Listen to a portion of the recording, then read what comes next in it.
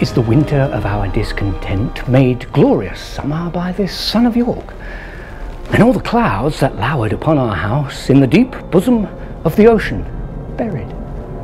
Now are our brows bound with victorious wreaths, our bruised arms hung up for monuments, our stern alarums changed to merry meetings, our dreadful marches to delightful measures.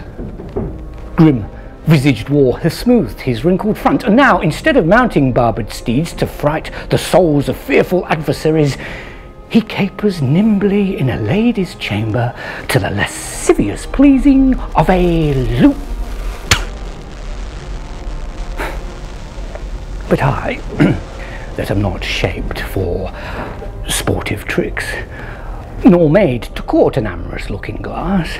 I that am rudely stamped and want love's majesty to strut before a wanton, humbling nymph.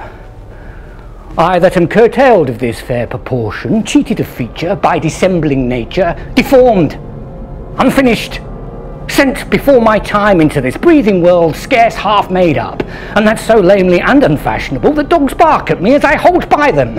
Why, I in this weak piping time of peace have no delight to pass away the time, except to spy my shadow in the sun and descant on mine own deformity.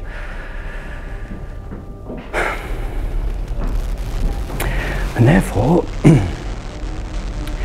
since I cannot prove lover, to entertain these well-spoken days, I am determined to prove a villain and hate the idle pleasures of these days.